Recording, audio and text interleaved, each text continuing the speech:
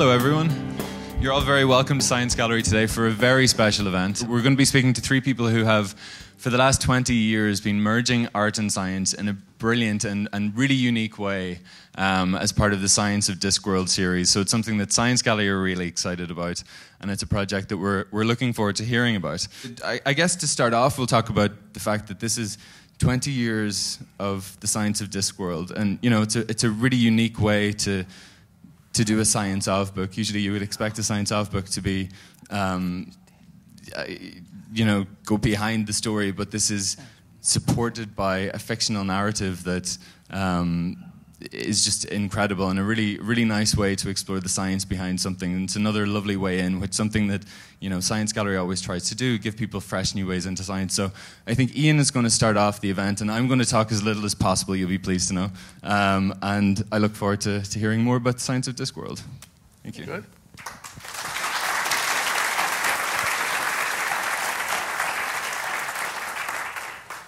I'll talk and run the computer, and Jack and Terry will heckle um, and join in and take over. And welcome to the Dublin, the city of science of Discworld. How can there be a science of Discworld? Discworld runs on magic. Okay? So, this is one way to make a world. Has all the ingredients. This is the sensible way to run a world. it's Discworld. It's flat, so things don't fall off. It's held up by four elephants, so that it doesn't fall. The elephants are held up by a turtle, so they don't fall. The turtle doesn't need to be held up, it's a turtle. It swims through space. So it all makes sense. It has a sun which goes sensibly round the disk once a day, like any reasonable sun ought to. And of course, the elephants have to lift a leg, let it come by. And it's fairly close up, so the sun doesn't have to be incredibly hot. So it's much more energy efficient. And the oceans fall off the edge because it's flat, but um, they're magically recycled, so that's okay. So it never runs out of ocean. People live on it, and they always have as any sensible, what's the point of having a world if you don't have people on it? And things happen because people want them to. This is called magic, or they happen because of the power of story. The story says they have to. This is called narrativium, narrative imperative. All of this means that everything makes sense. Yes, if things happen because something wants them to, if you start asking why did that happen, you have an obvious answer. So and so wanted it to. Or the story says it was going to. There is, however, another way to make a world. You recognize that one? This is the stupid way. and the more you think about it, the more you realize just how stupid round world, as we like to call it, is. I mean, the first thing it's got wrong is it's round which means things fall off. Or at least they would, except there's this mysterious force. Gravity keeps everything just about attached. I mean, it's not very well attached. You can jump up and down. Unaided human beings can get about six feet off the ground. This means the people on the bottom are upside down. It's so big that it looks flat. You see, if you're really stupid, you might think it is flat, and that would make it a much more sensible sort of world. It's not supported by anything. How silly. It swims through space of its own accord, but it's not a spacefaring turtle, it's just a round sphere. Hasn't got any flippers, it's too dense to float. Doesn't make sense. It can't decide where to go, whereas a turtle knows exactly where it wants to go. So, round world, as it makes its way blindly through the universe keeps banging into things. like that. I mean, oh, do you understand how improbable and silly our world is? It's got a sun, but it doesn't revolve around the disk around the world. Instead, the world revolves around the sun. It's got it back to front. And it does it once a year, not once a day. So why does the sun rise and set?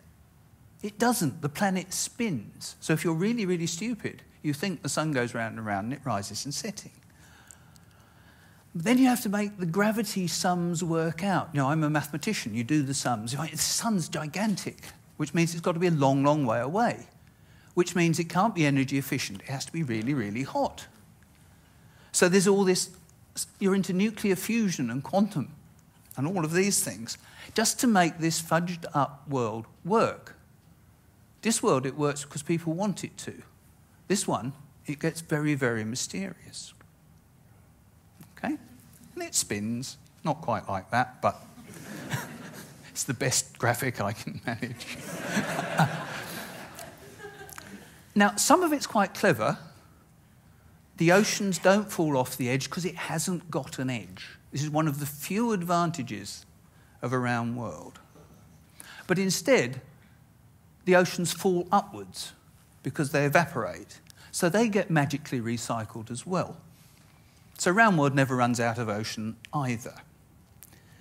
Now, there's no narrative imperative, so it doesn't know which axis to spin about.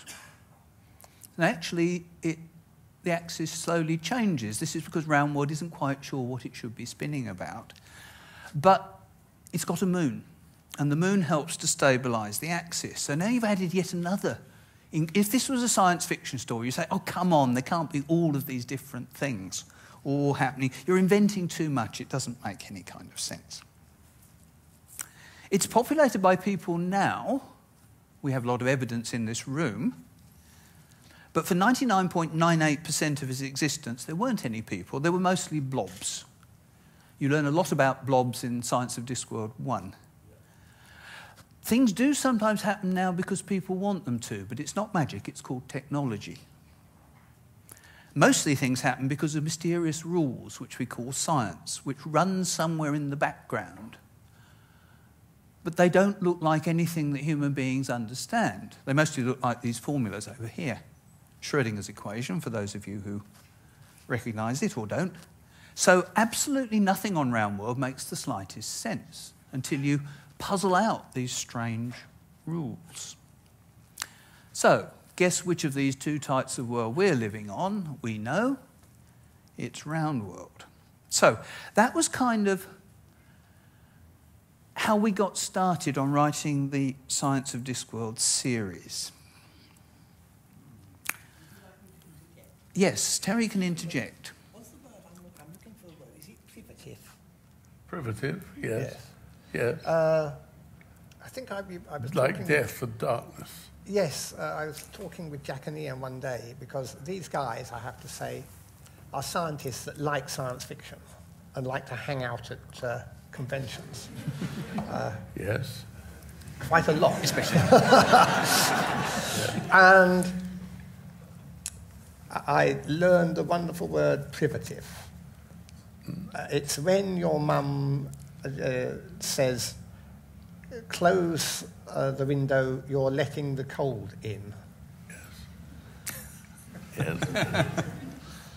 um, All the spread of ignorance. Well, it, it, it, makes sense. The window opens and it's colder inside. The cold must have come, come in. in. Yes. I did this world. I know how this works. yes. yes. And death, of course, is a privative. That's right. But, uh, yes, on round world, the heat's getting out, of course. Yes. So we wanted to compare and contrast these two types of world. Discworld running on magic, narrativium, but not science. So, how can you write the science of Discworld? We started. Hmm? we met in a Mongolian cafe, yeah. restaurant, and um, we were. Terry brought us. Terry had reconstructed a book that we wrote called Figments of Reality and had done a brilliant job, and it made sense afterwards. It's quite a good book now. and but we, we, we had all the chapters, but we couldn't see the, the way they'd go. And Terry said, You do it like this. We did it like this. Um, we, we met him to give him a copy of the book. And he came along with the science of Star Trek. And we bloody wept it's horrible. It's all about if you want to go faster than light, it's tachyons, and here's the equation. And Terry said, I played in your world, why don't you play in my world, or something like that. And we thought, well, we can't because there isn't any science. Then we began talking about Earth and privatives and one thing and another. And before you know it, we had Science of Discworld. The unseen university wizards create our universe by mistake. And it makes absolute sense. And it makes absolute sense, yes, absolutely. After all, uh, people say, why is there a second type of light in Discworld? Well, how else would you be able to see the darkness? Yes, that's right.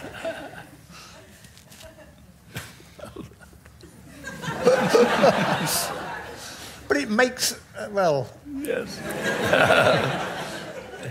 it makes a sense where if you live in a primitive world, that's what happens. You talk of the spread of ignorance and the and death. actually, I could say that the spread of ignorance is not a privative. I feared you'd say that. Yes. Uh, Think of Wessex, for example, Essex, for example. That is the spread of ignorance. I fear so. All right. I give up. Yes. All right. Yeah. But I know what you mean. Yes.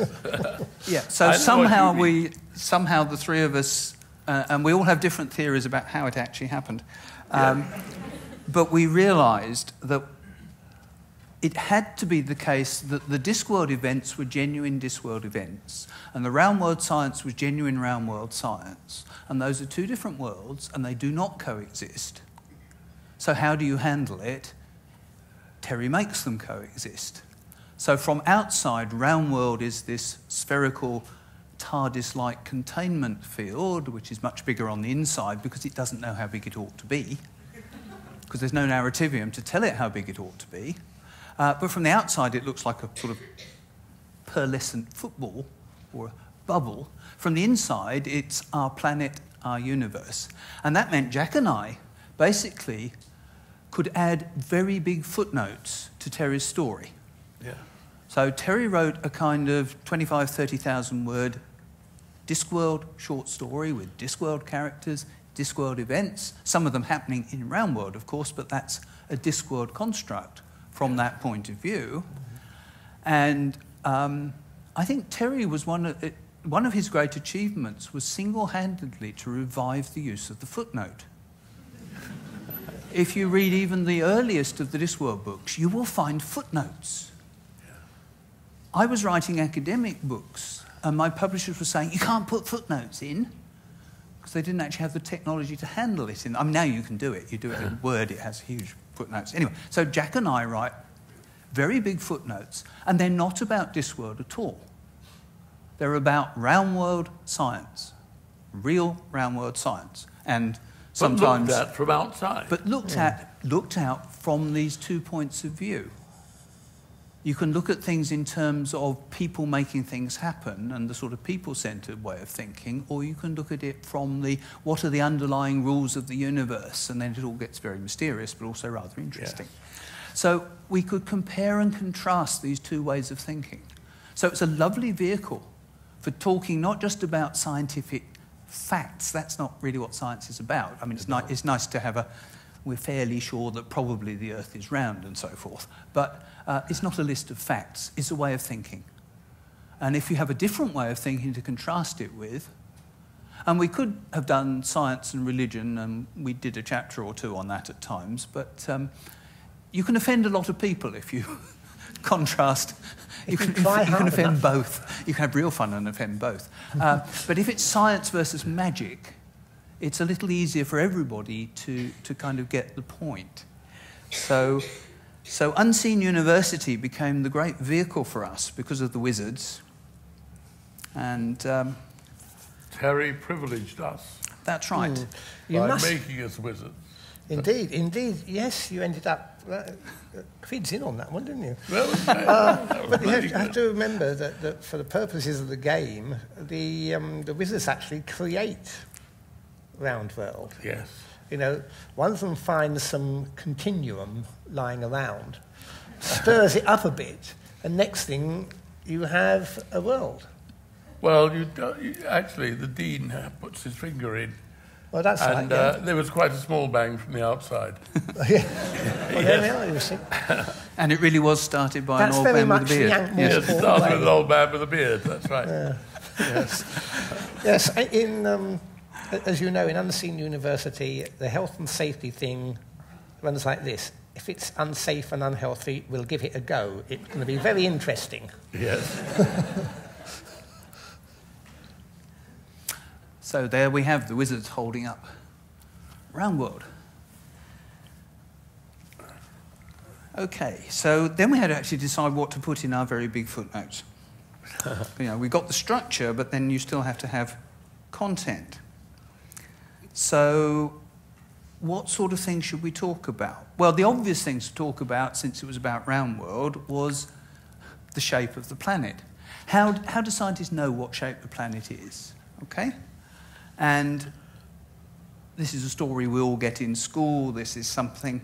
You don't actually have to be fantastically intelligent to figure out it isn't flat. Um, and the ancient Greeks could do this. So Eratosthenes measured the distance from uh, Alexandria in the north of Egypt to what was then called Syene, it's now Aswan in the south. And he looked at the angle at which the sun was at midday. And in Aswan, it's directly overhead. In Alexandria, it was about seven degrees off the vertical, which is roughly one fiftieth of a circle. So Eratosthenes, being quite bright, said, Well, I, I kind of know it's round, but I can work out how big it is now because that means the distance from Alexandria to Syene is one fiftieth of the circumference of the planet. How far is it from Alexandria to Syene? And the answer was something like 52 camel days. Yes. He had to ask the, the uh, people who traded with the camel caravans and uh, find out how long it took. And they think, well, a camel goes a certain amount per Ian? day. Um, Ian? yes? Could I just interject something? A, a question to you, sir. He kind of knew it was round. Yes, the Greeks were already convinced it was round. What was convincing them?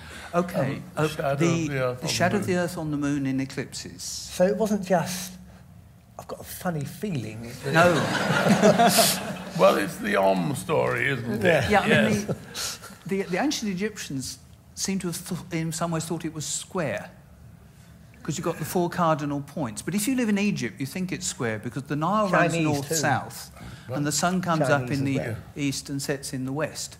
So Egypt has these natural axes, and the whole of ancient Egypt revolved around this sort of natural coordinate system in which north, south, east, and west are almost imposed upon the country. Yes. But the Greeks realised a whole pile of reasons. The other things like when a ship sails out to sea, you see the mast slowly disappearing beyond the horizon. And the Greeks were quite good at geometry. They thought, oh, that means it's curved. See?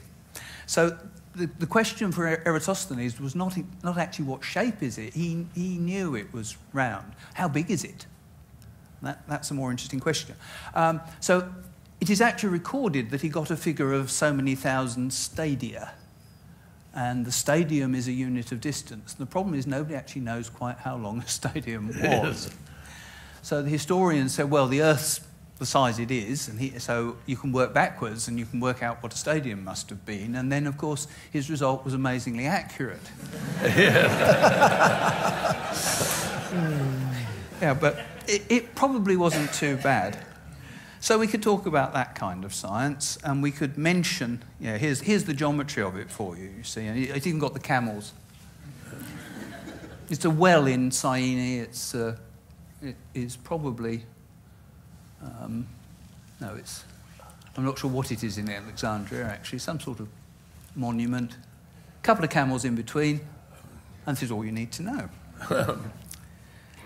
There are still people who are not convinced. And uh, We're talking up about that in Sod 4. the.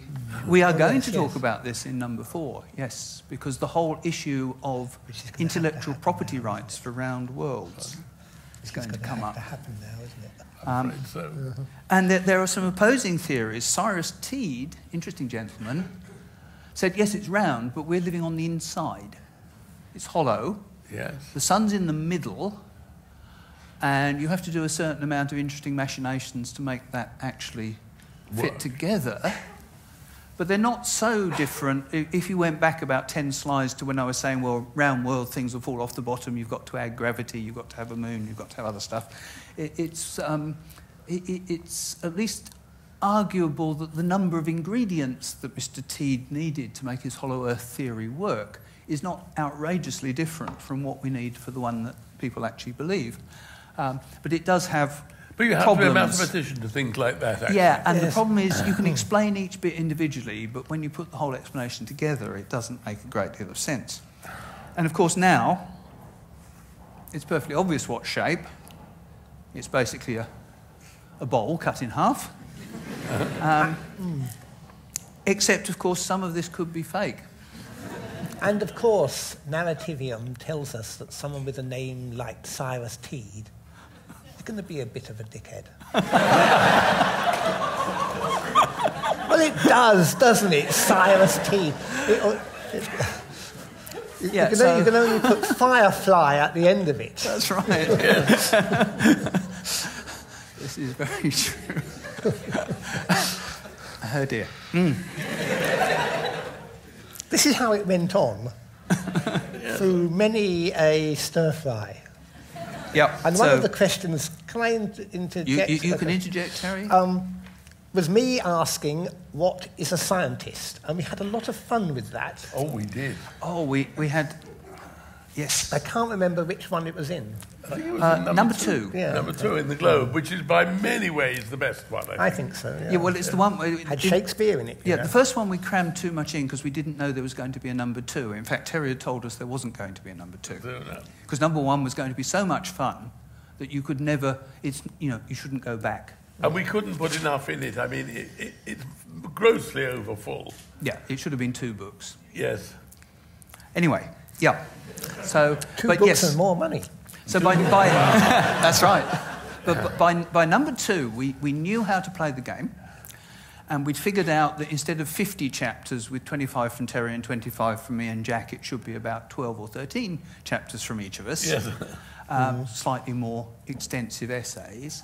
And we, we mapped it out, and in the middle was a bit where the wizards figure out what science is, and then Jack and I tell Tell all the what readers really is. what science is. That's right.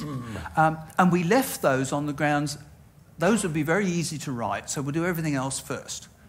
So we did everything else, and we came to that bit, and Terry said, okay, what is science really? And Jack and I said, well, hmm, ah. Yes. And, and we discussed this, and, uh, and eventually I started saying, I, I think what, what, what, Terry latched onto, and he'll contradict me if this is false, but uh, was two points. One is that, I'll tell it this way I had a PhD student who was a very bright Portuguese woman mathematician. There are lots of women mathematicians in Portugal. And she came to me one day and said, I've been reading this paper that you and a couple of other people wrote, and um, I think it's incomplete, she said. I said, Oh, we made a mistake, did we? Oh, oh, no, no, no, no, no, no. But uh, you say such and such, and I've been reading this other paper which has a similar list, but they've got an extra one.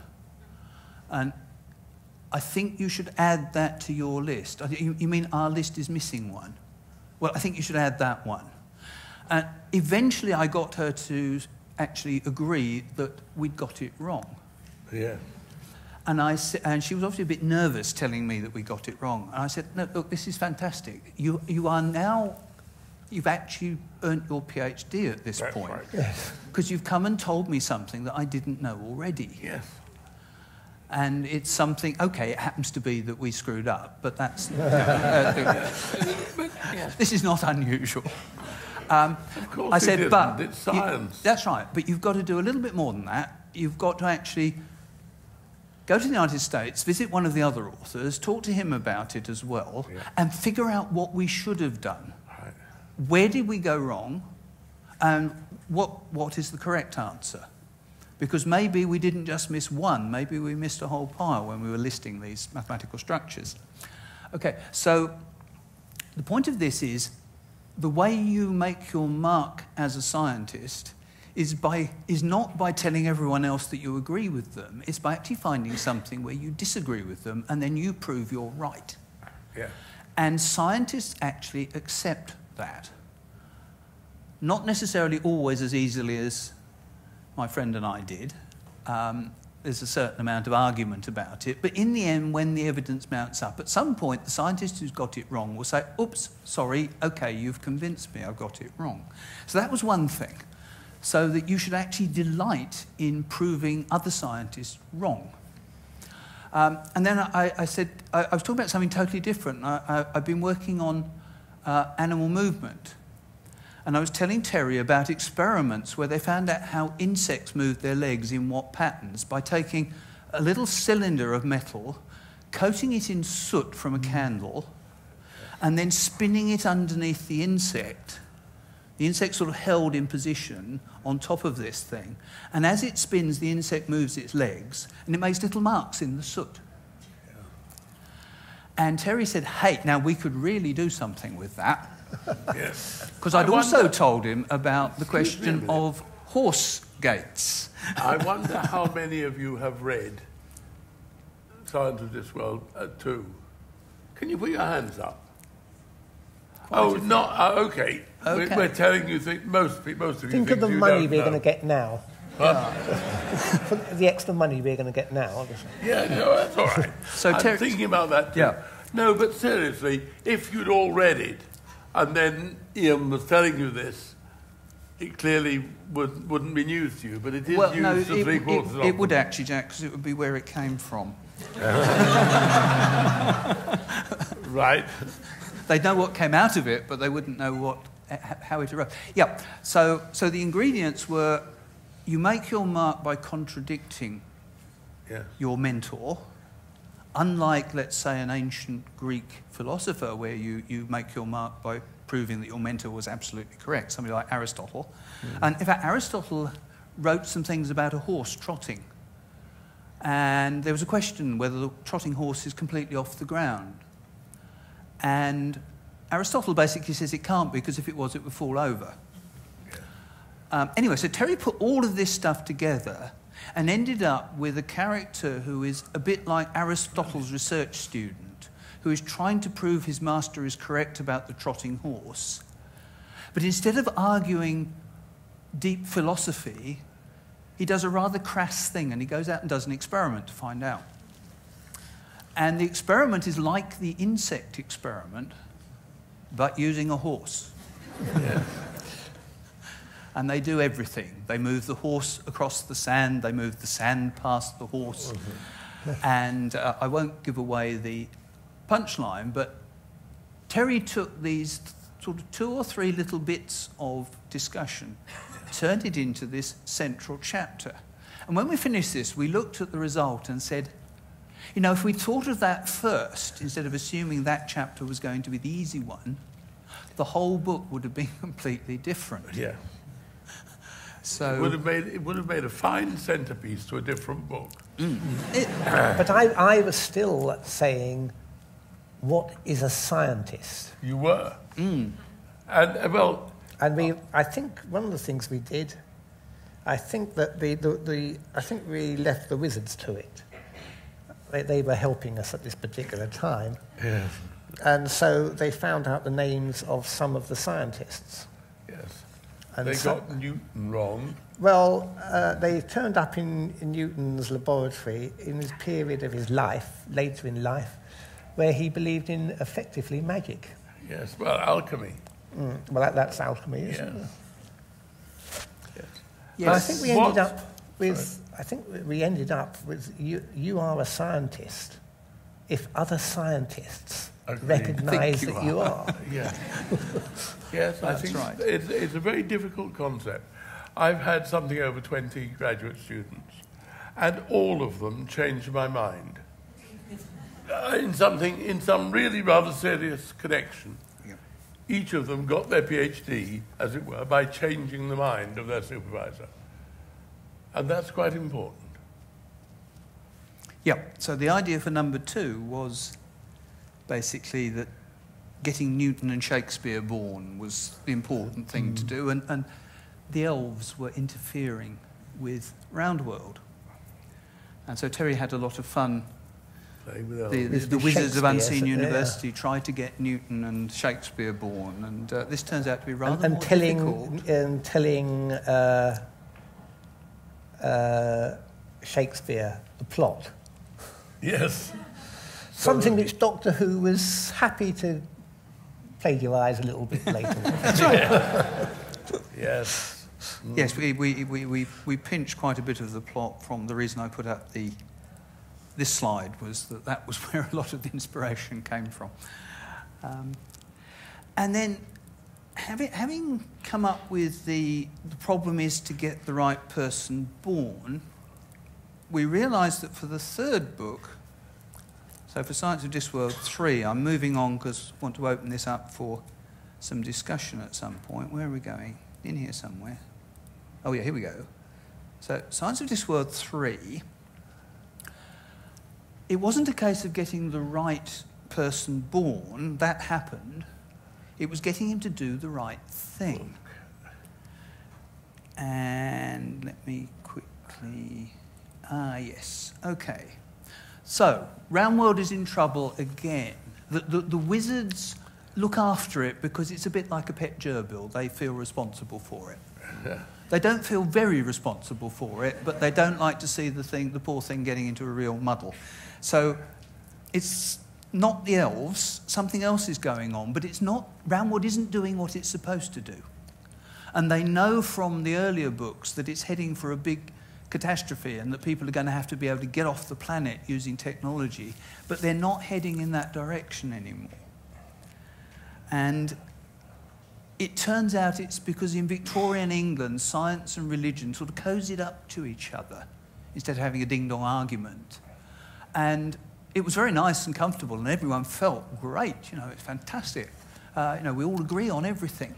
Um, but it didn't have quite the give the intellectual stimulus to the creation of science and therefore technology. Yes. And it was all to do with the Reverend Charles Darwin, who wrote a book about species, which everyone loved. It was a brilliant book. Um, Called and it was called Theology of Species. Theology. And that wasn't the book that stimulated the discussions that led to the science that eventually led to the humans or whoever it was getting off round world in time to avoid the Great Ice Age, which killed them all off. So the wizards have to get him to write the origin rather than the ology. And so the whole book is about Darwin not writing this book. Now, I sent Jack a kind of summary of this plot when we were trying to work out what to put in the book, because the way this works is t- it always starts out when we get from book N to book N plus 1. It starts out just after book N's come out, and Terry says, That was great, and we're not going to do another one. that's right. yes. It's much too much, you know, you just, you just cannot, cannot match that. Followed at some delay by, if we did do another one, what would it be about? oh, yes. Which is then a signal for Jack and me to put together scenario after scenario Scenario. after scenario. To see and which Terry, one turns Terry no, on. that's no good. No, don't like that. Don't, oh, hang but it's on. got to have narrativium. That's Yes. right. It's I got mean, to the, have the, the. Darwin, the Darwin one was great Yeah. because we could take Darwin Real history. as a boy Yeah. and follow him along and see. And I, I, narrativia came to my aid again because all the way through Darwin's earlier life, the chances of there being not a young Darwin were turning up and just missing him. Yeah, if you, if you read The any, real history. any of the hmm. biographies of Darwin and you understand that the backdrop against which his life happened is this battle between the Wizards of Unseen University and unknown dark forces Yes. trying to get him to write the book that he actually did, The Origin of Species, mm. you look at his life and you say, that's, I can, that's, that's a place where the wizards interfered. And then that's the place where the wizards interfered. Because there were so many. Yeah, there's about six very obvious ones. He, he went to university, he studied theology, uh, among other things. He had to read a slightly subversive book, um, which is Paley, Paley, natural, theo- yeah. doctoral theology. Natural Theology, which is about design in living creatures and how this proves the existence of God and so forth. And, and Darwin actually thought this was pretty good. And what he wanted to be was a country vicar. Because And to play with natural history, Yeah. like country vicars did. That's right. So, uh, but, but then he didn't do that. So the Wizards obviously interfered at that point. And then when the job on the Beagle came up, Yes. Darwin applied for it and didn't get it. Um, because somebody else Yeah. got the job instead. And then soon after that, um, it, the, the, the person who, was, who had got the job, uh, his wife discovered it was a three year job and said, You're not going on the ship for three years. It was actually five. Um, so suddenly the job came up again. So uh, Darwin's father said, You're not going to go on that ship. And then he paused and said, Oh, unless You're- some person of high standing advises me that you should go, which meant his uncle Josiah of the Wedgwood family. And Uncle Jos, this will be the making of the young man. Yeah. And so on. So, oh, and then Darwin was absolutely seasick That's right. at the start of the voyage. And when they put in at the first island, it's quite clear he was going to jump ship and go home because it was such a wretched experience. But when they got there, there was There's a a, smallpox.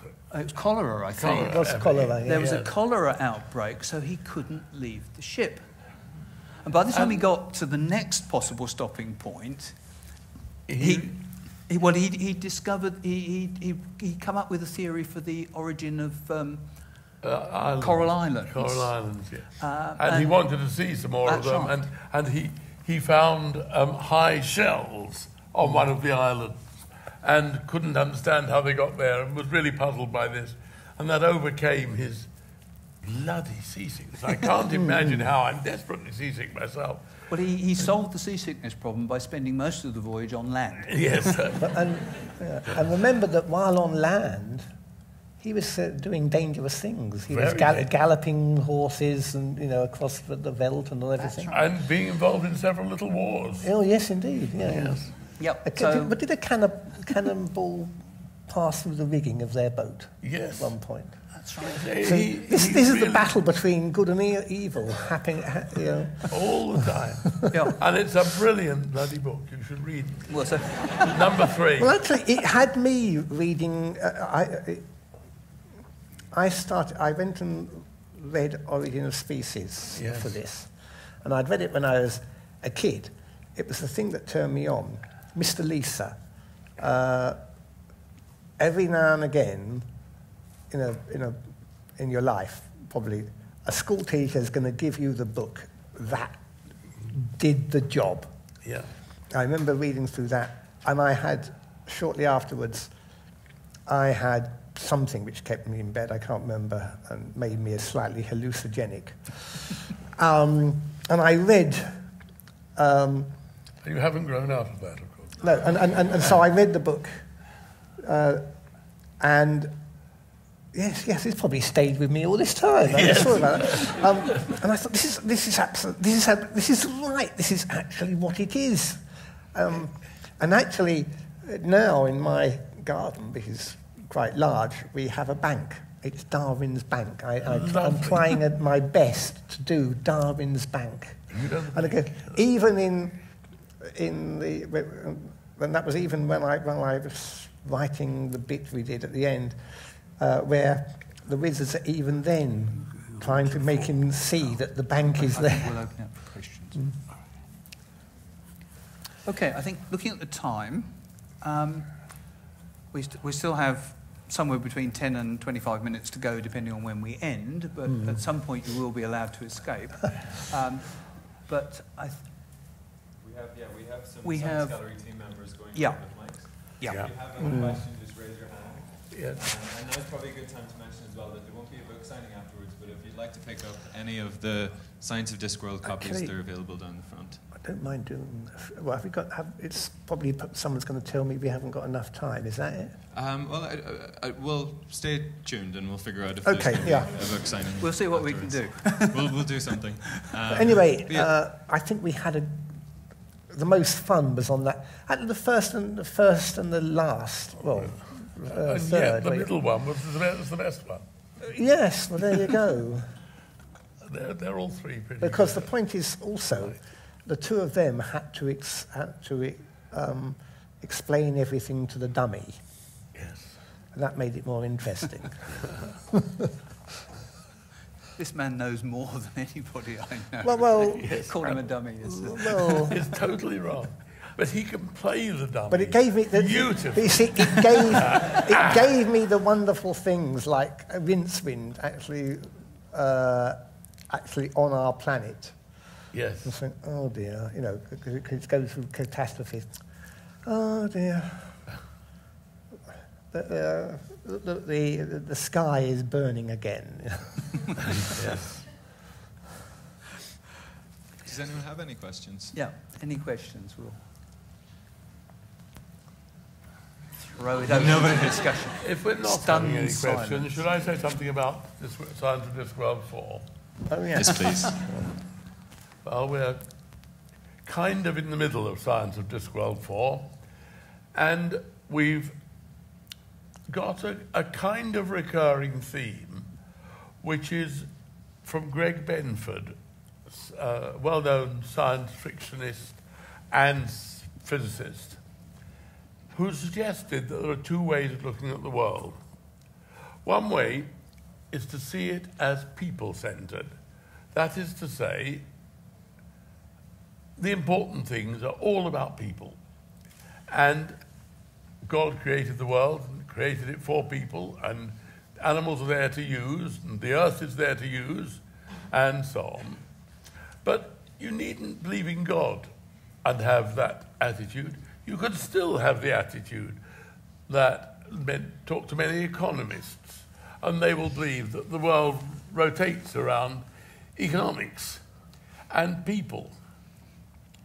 Alternatively, you may believe that the people are an entirely, well, pretty nearly irrelevant speck on the outside of a tiny little ball of dust um, going in a totally insignificant solar system in a not very important galaxy among 200 billion galaxies. And that really such importance as we attach to ourselves is given to us within a universal context. And it's very cute to be able to get one side and the other side of this argument, to, to start parochial with people or to start universal. And it doesn't sound like that when we do it, I promise you. but um, we, we have a nice lot of tricks that come from that. Any questions now? yes, we have one there. No, there are microphones. There, there, yeah, there, there are roving microphones. Um, yeah, so this is totally unrelated to the science of Discworld, but I'm sure a lot of people are wondering it. Um, is there going to be any more from Vimes and the Watch? ah.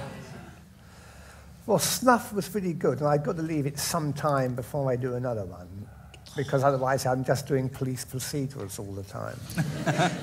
uh, if there was quite a few more of me, that would be rather helpful. Uh, at the moment, um,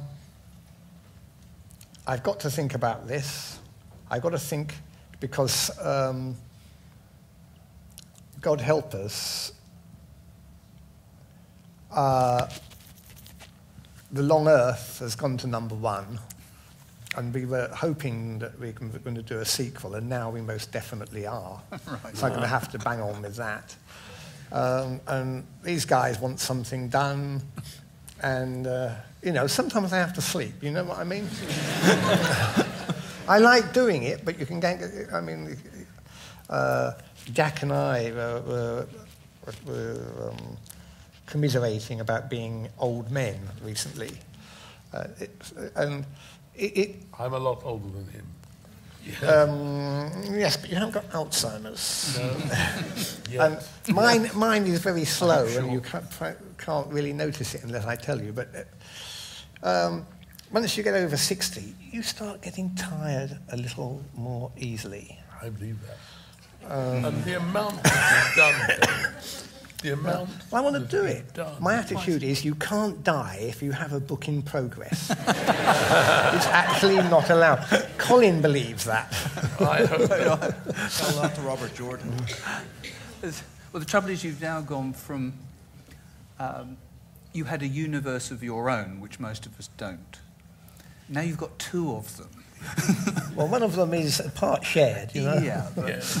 But that's not One half and a a half. universe. It's not half a universe you have. It's another whole universe. Well, uh, Yeah. ye- yes, no, even a, a whole number of universes. w- w- when is the long disc world going to happen?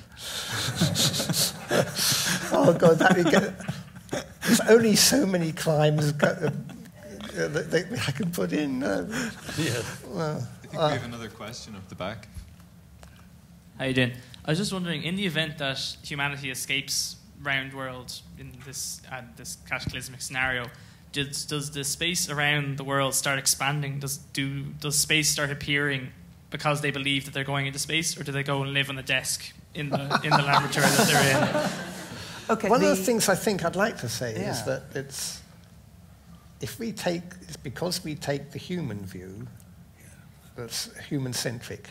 It's because well, within the lifetime of your grandchildren, at least, there will be great wars over everything because we are running out of so many things. And we are rather stupid. We're never, ever going to have a world, a world government. Um, the USA will, will never agree, would it? well, nor would China. I mean, I'm being serious about this. We don't think as a species, we think as, as As individuals. citizens mostly or individuals. And gra- it's, ta- it's taken us a very long I've once heard, oh, quite a few years ago, an old lady saying well, she wasn't going to use dishwashing powder because of the planet. And up until that point, because she was, she my, was my grandmother, um, I thought, she's never really thought she's been on the planet. Isn't She's never needed to bother about it. But now, uh, some washing up powder, which apparently wasn't any good you know, for the environment. Phosphate, yeah, so, probably, um, and suddenly that she was going to save the planet by not using it. But um, we are using up resources. Those resources, but We are warming things up far too much.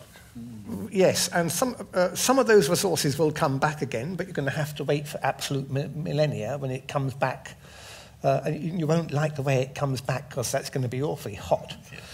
Um, and we really are not doing that much about it. This, to talk about the time when your lady was using the right detergent, I'm, I'm, I think it's very cute that earth used to mean soil, and now earth means the planet. And it's, it was, and it happened in my lifetime, that change of usage. You've just designed Science of Discworld 5. Nicola has a question Uh, uh, here. yeah, uh, the, sorry. uh, just a, a quick answer to, the, to that question. Um, the, the fiction that we have is that what happens inside Round World from the Round World point of view is what we think is happening in this universe today. So, yes, so it is expanding inside, not on outside, of course. It, it, it might well be expanding because when the original finger went in and it sparked off the explosion. That left some characteristics. We haven't really explored that. But um, yeah, everything that's happening inside should look like what, you know, what, what is really happening, if that makes sense. I mean, um, there is it, the expansion of the universe and the acceleration of the expansion are pretty widely believed by cosmologists and indeed by non-cosmologists these days. There's good evidence for that. A lot of the explanations for that are not greatly believed by anybody Yes. um, and are certainly very provisional. So I don't know what's happening inside Roundworld, but I know what the scientists of Roundworld think is happening inside Roundworld. yeah. Right. And that's the story we tell in that part of the book. Nicola? Um, as a, uh, I'm utterly delighted to hear that Long Earth is going to be followed by Long Earth 2. That's going to be brilliant. Um, I was just Longer um, Earth. longer Earth, yes, or Long Earth in another direction. But I was just th- thinking, Terry, if you're if you were so turned on by the origin of species, as even as a child, as a boy, um, what led you not to go and become a zoologist or a biologist rather than a writer? Or possibly a zoologist, biologist first, and then a writer. Too much science fiction. Ladies and gentlemen, it will take control of your daughters and sons. Mostly, mostly your sons, but sometimes your daughters. Um, uh, and I mean, I have to tell you, uh, it's a, a secret, a big secret. Um, I talk to my computer. I can. Uh, talking point and um, Dictate together with a little bit of treat, treating make it very easy for me to do the, my first draft. Um, but I keep, I get kind of annoyed at the, the, the, technology people. Com- we've had computers for a very, very long time, and they have been very, very cheap. Uh, and they're getting cheaper and cheaper. So that incredibly powerful computers I would have actually killed my grandmother to get. well, I mean, she was old anyway, you know, cre- creaking door, all that kind of stuff. Um, I mean, I've got, I've got more computing power in my office than the whole world had, actually, probably not that long ago. And yet, we aren't, do, make, we aren't doing an You're not doing miracles. but it's it. doing it's it's computing games, porn, um, uh, social media, and all kind of other stuff is happening. There's, there's so much other stuff. For example, um, because I nagged at the at the talking point people, now um, I finish my work. I just say to the open air, save work, or save work and shut down, or save work and restart, or something like that. We're actually fitting it up so now that when I actually go into my office in the morning, the computer will line up but start up ex- even when I'm starting turning the key in the lock, and so the magnetic thing will actually come up just as I get there. Lovely.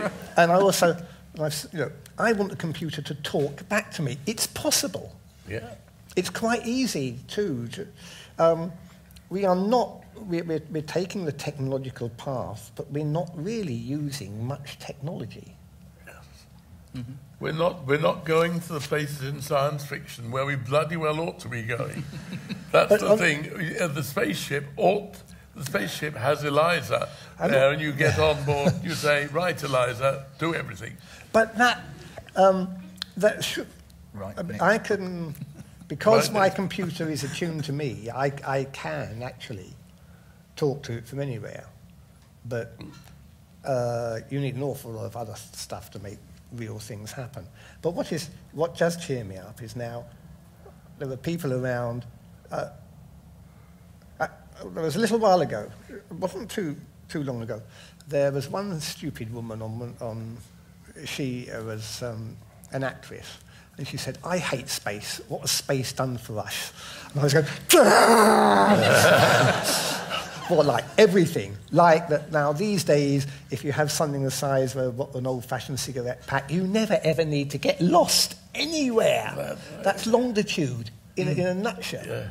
All these things. You can phone anyone else in the world. Arthur C. Clarke actually said before 2001 came out that by the time it came out, it might be possible with a large enough briefcase to be able to phone someone with a large enough briefcase on the other side of the world. Yes. By the time, by the time it turned up, everyone had mobile phones. on it. Yes, And it- absolutely. And it's going very fast, and you can now do so many things. You get on the social media, you're getting. We, we actually. It's going the wrong way, though. Well, I don't know. I don't know. Uh, we are. We were hearing some of the things that Larry, Larry Niven was talking about. Flash crowds. Yes, Yes. absolutely, flash crowd. Yes, Um, they're and- starting to happen. real, real science fiction ideas are are coming into place. There was a whole lot of Traf- uh, people in Trafalgar Square when we were launching the Long Earth, because you know we just did it over the air. Uh, we could be doing so much with the stuff, but we, we don't. We seem to. Th- it, it's now coming back into a kind of basic form of entertainment and stopping right there, and the rest of it is left to the people that just use it for doing the typing. Well, you know, the That's same a bit thing of a happened to bend. Marconi. Hmm? He wanted records to be for recording the last words of important people. And he didn't want it to be used for music at all. You know about Much that? too frivolous. Much yes. too frivolous, yes. He p- took in the money, all right, but Okay, so, He, um, so you, you walk into the deathbed with the recording device and a gun. I like that, yes. This won't hurt a bit. We have another question from the audience. You were saying about the possible fourth book. Do you think it's ever possible to marry the two, two viewpoints of someone's egocentric view and because the only other view we have of the world is of the world excluding me. We always talk about the people or the world, but it never includes yourself. Is there any way to marry that, those two points? I think that's a very interesting question because It is. um, as a human being, if you adopt exclusively either of those two ways of thinking, you're in trouble. The- neither of them does the whole job. And some way of Integrating. integrating them. Uh, yeah. Jack- Or alternating them. Yeah, Jack and I have this. We, we, we use the word complicity for this kind of thing. Um, not quite in the usual dictionary way, but complicity is where two, it, two things come together and they don't just interact with each other, but they keep Changing each the interaction goes on and they hmm. keep changing each other. And what emerges from them is actually it transcends them both. And it would be fantastic if it were possible to do that with those two ways of thinking, because both have merits. One of the things we don't do is say, "Oh no, this the sort of the science one is good and the other one isn't." No, Yeah. they both have merits in their own in, in you know in the right circumstances. The important thing is to recognise the distinction, which is perhaps the first tiny step. At least once you know they're different, you stop saying there's only one way to think about these Yes. things. And Yes. so, uh, you know, uh, I don't think we're there yet. It's th- th- this is um, this, this is the. Uh, we were discussing this last night. The, you, you said it was John Brunner. We, we are halfway between ape and human. Yes. Well, we told, our, we told ourselves that we are Homo sapiens. No one ever came down with a stamp No. and Yes, said that's Homo right. sapiens. Yes, well, right. in the second book, we say we're Pan narrans, the hmm. storytelling ape. And we make a good story about that. But it's a story we want to see, not the story of what is true. Yes. I don't know what is true. I had a. Well, I'm reliving an experience I had when I was about 15, when my grandfather took me into his study to give me a really serious talking to because I had spent 50 pounds on a pair of angelfish, which were very rare then. I thought I was going to breed them. And one died, and fifty pounds was a lot of money. My money was my mother was earning two pounds a week as a machinist, 50 pounds was a lot of money. And I had spent this, and then I bought another one. And my grandfather took me in to his study, and he said something which I've always remembered since for being silly biology, but it's actually desperately deep. He said, Jackie, are you going to be a queen bee or a wasp? now, it's bloody silly biology. But what he meant was, were you going to have the big view or the little view? Do you see that? And at the time, I was trained to be a rabbi. And I'd just given up. I'd just read Spinoza and felt that being a rabbi wasn't big enough for me in, in a way. And I bred the angelfish and made a lot of money out of them. And became a queen bee and not a wasp in that sense. But I had always remembered it as being a silly little phrase. Are you going to be a queen bee or a wasp? And you, we got giggles around the audience because the, his biology is crap. but the central thought there is the same one as, um, oh, what's his bloody name? John Brunner. John, well, John We Bra- reckoned. Or uh, the Oh. physicist, Uh, Gregory Benford. Gregory Benford. Yep. It's a universal or parochial view. I think we have a few more questions. We'll just mm-hmm. take this one from the front oh, first. Hi, my question is sort of an observational question on what you were saying about what defines a scientist. Now, if you think about it in a strange way, and I know this sounds strange, but isn't a scientist a person who does something completely unnecessary to prove something is necessary? Scientists don't prove anything. They never, never prove something. But they like to think they have. Mm, But they, well, they think they do. Um, Sometimes. there are forms of words which are honoured in the breach as much as in Okay, yes. the observance. But um, Is this the difference between mathematics and biology now that we're. ah, well, Jack, Jack, Jack and I spent years coming to to terms with that. um, that were we well. See, it- mathematics and biology certainly, if you go back to the 19 late 1980s, 1990 or so, which is when we met. Um, these were subjects that did not actually get on with each other terribly well. They still don't get on fantastically well, but they get on a lot better than they did, and the younger biologists, particularly, are um, much more prepared to tolerate mathematicians and mathematical thinking, uh, even in biology. Yeah. Um, but Jack phoned me up out of the blue. We'd never met um, because he'd read Does God Play Dice and was interested in chaos, but couldn't see how the mathematics of chaos could work if living creatures were organised. And he said, could he, could he come and talk to me about it? And we went to the pub for lunch, and four hours later, we were still sitting in the pub talking away. And what we'd discovered was that although on the points of detail, mathematicians and biologists seem to have completely different views of almost everything.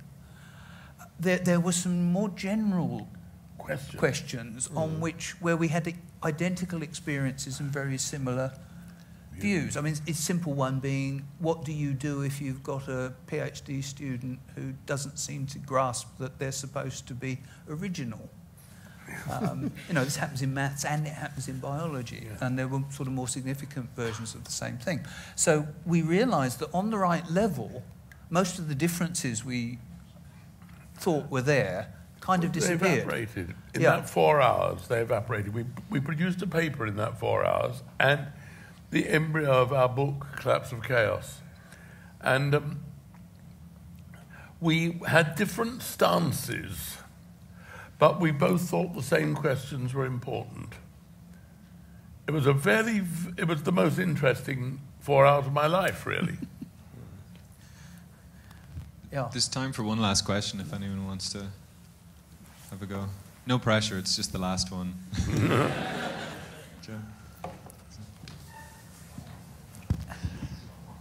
Um, uh, Arthur C. Clarke said that any sufficiently advanced technology is indistinguishable from magic, and in Round World, according to the Science of Discworld, we eventually get in our little tin cans and fly away. Would you ever look at the Science of Discworld from the other direction? The Round World scientists finding the wizards and using technology to try to determine magic? Well, Greg Benford, the same Greg Benford, said if it isn't like magic, it's not sufficiently advanced. um, and, uh, well, that's right, you turn on a light, which is, which is magic. It's an Yeah, advanced for- technology. For most people in the world, that's magic. Oh, you got the piece then? Yep. Yes. Yes, that. All right. Magic. Look, magic is real. It's around us all the time. It's mostly called technology. When I bought a Rambler car when I went to the States in 1963, there was a bit of magic there. Up till then, I had a Rover at home, and I used to have to put a heater under the. In, in cold weather, I put a heater under the engine, pulled out the choke, retarded the ignition, and then pulled the starter to get to start in the winter. And it took a hell of a lot to get to start. There was a piece of magic in the Rambler car. It was a note written down, a spell, cold start. And you pulled it, and a minute later, the car engine started. All right, that was the spell. and uh, No, just get in and start it. yeah, It's even yes, it's an even better spell now. yes, it's an invisible spell now. Once you've got humans in Round World, they start to turn it into Discworld. And of course, this is why the Discworld series makes so much sense to the inhabitants of Round World. I hate to be the one. I, I think everyone here would agree with me that I could sit here and listen all day to this conversation. It's been incredible to have the three of you here at Science Gallery, and I, for one, am very excited about Science of Discworld 4. Ladies and gentlemen, please I wel- better write the bloody thing now. please join me in thanking them.